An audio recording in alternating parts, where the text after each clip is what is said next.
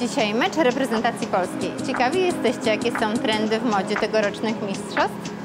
Zaraz sprawdzimy.